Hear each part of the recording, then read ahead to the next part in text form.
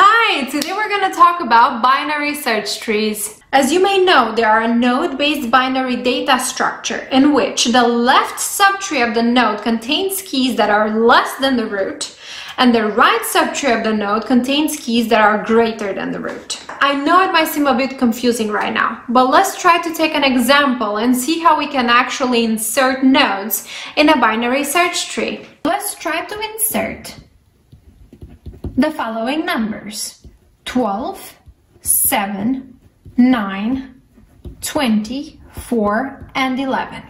Since we have 12 as the first number, we insert that as root.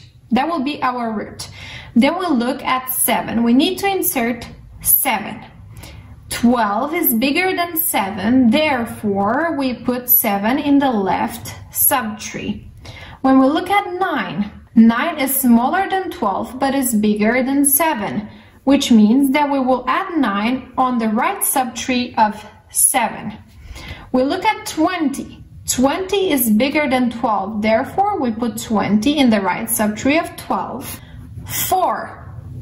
4 is smaller than 12.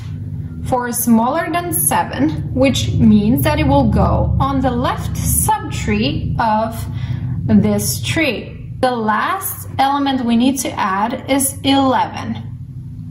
11 is smaller than 12, but 11 is also bigger than 7, which means it will go on the right subtree. 11 is also bigger than 9, which will go in the right subtree of 9. Alright, but now what if we want to insert, let's say 32?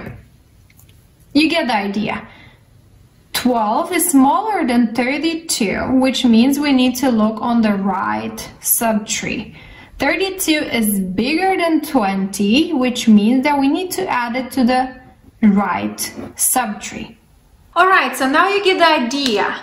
But what are some practical uses of binary search trees and why do we really need to understand how they work? Well, they are used to implement multi-level indexing in databases. They are also used in many search applications where data is constantly entering or leaving the map or the set objects, or the Huffman coding tree used for compression algorithms, such as those used for JPEG or MP3 file formats. Alright, so this was it for today. Thank you for watching. Please let me know down in the comments which tutorial you would like to see next and I will see you in the next one.